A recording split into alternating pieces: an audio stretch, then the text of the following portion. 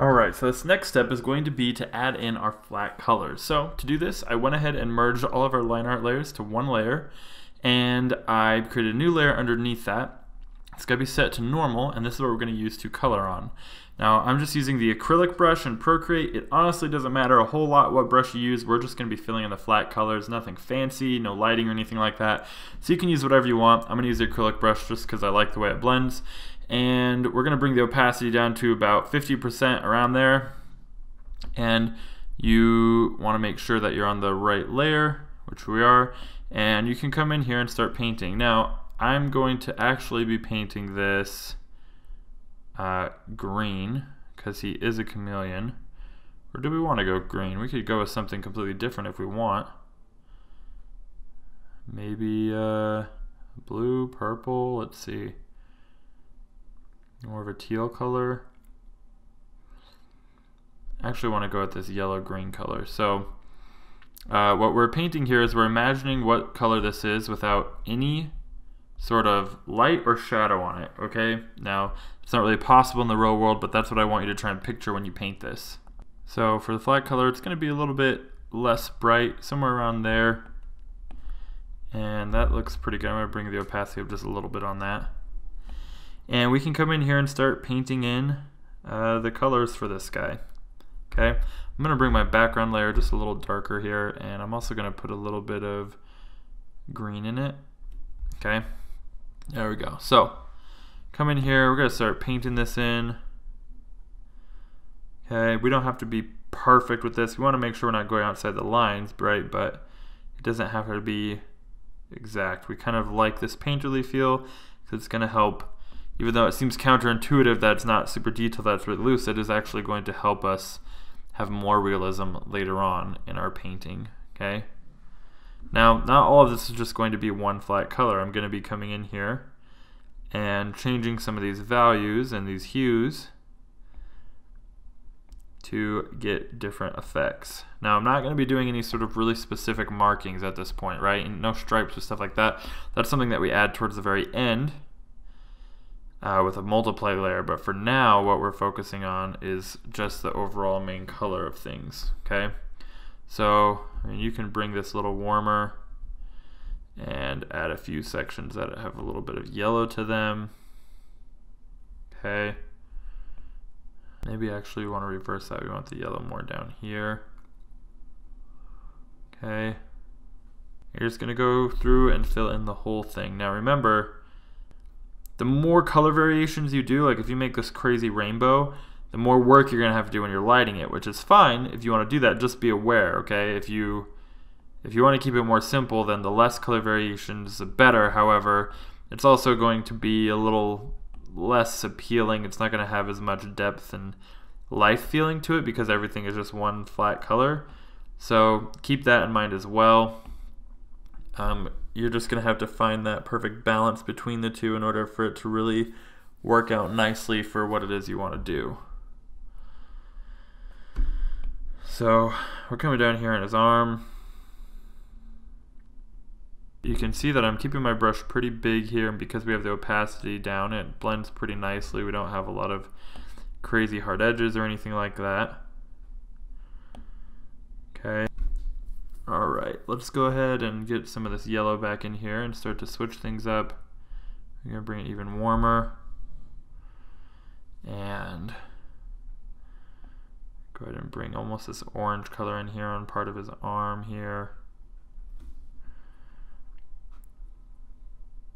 I'm to do go all the way over here to red and do this spot up here on his head just experimenting here. If I don't like something, I can always go back and undo it or change it.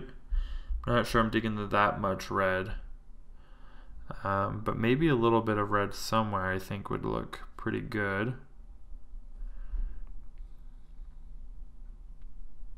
Excellent. Uh, let's get the inside of his mouth here. Let's come back over here to our green. We're going to bring in this darker green and really start to fill in a few more of these sections that we want to. Oh, it's a little bit too bright there. That we want to bring in more, a little bit too saturated as well. Let's bring it back. There we go. So some of these areas over here on his scales will, will knock in a little bit. Okay. Up here on his back, it's pretty pretty bright. We're gonna knock that back as well. Okay. Down here on his hand. Top of his head, I'm gonna push back into this green color. It's darker green. Right now this is all feeling a little bit bright, so what I'm going to go ahead and do, after I finish this section of the tail here and his arm, I'm going to go ahead and take this whole layer. We're going to uh, lower the brightness just a little bit as well as the opacity. We're going to bring both those down. And I think this is more around the range we want to be painting in right now. Okay. Alright. Excellent. Let's get uh, this a little darker here. We're going to do some sections back here on his neck.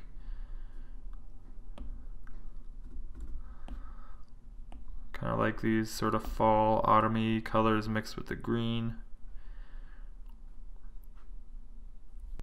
Alright. Um, darker green for his front of his face over here, I think.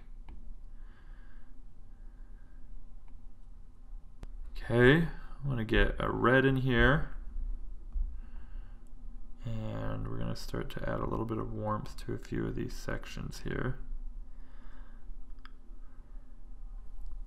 And we're going to get real bright red on his tail. Mm, I don't know if I like the red there. I think we're just going to keep his tail green. We don't really want that to become a focal point, but we can warm it up just a little bit at least. Okay. And then I'm going to bring in uh, just a little bit of this grayish blue color as well in some areas too. Uh, just kind of to break up some of this contrast here. Break up all the warms we have going on. And I'm starting to see this trend of this blue stripe going in between and I kind of really like that. So I'm going to actually push that a little further here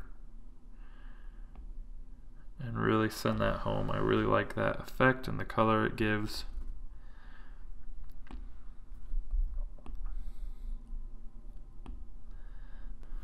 I'm picking up a little bit more of this red to throw in on some of these areas back here.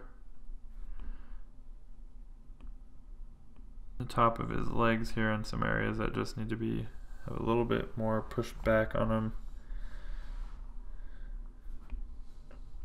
And uh, we need to let's do his wings a little better here. Um, let's get some of this red color and put it on the underside of the wings. Awesome. That looks pretty great. Um, we're just going to go ahead and do now his horns here and his claws.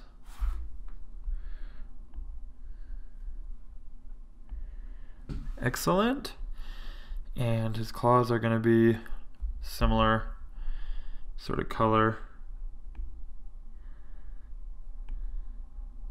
Okay, and then the last thing after we do that is going to be the tree.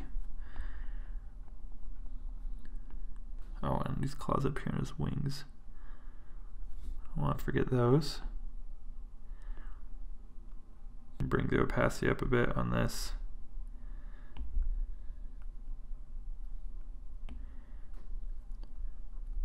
So it is going to be this wooden color, but we are going to have uh, a few spots of greenery on here.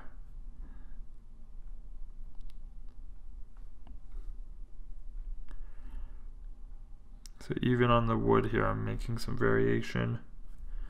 So we're not just dealing with flat colors. Now this stage, it's still going to look really rough right? It might seem a far cry away from getting anywhere that's could be considered photorealistic, but just be patient. This uh, painting style really takes a while. It's a process, okay? But by the time you're done, you'll be pretty impressed. You'll be amazed at what you did. Um, and even though this seems like it's starting really loose and you might be itching to really start adding some detail work, you're really going to want to make sure that you start loose like this. Otherwise, if you get too tight too fast, what will happen is that you won't have uh, enough you know looseness to really tighten things up and make them look accurate because you did that too quickly.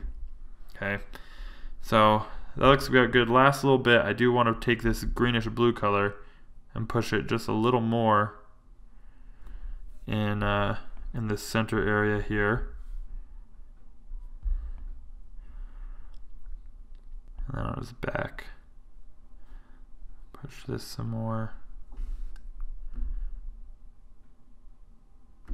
And then his stomach.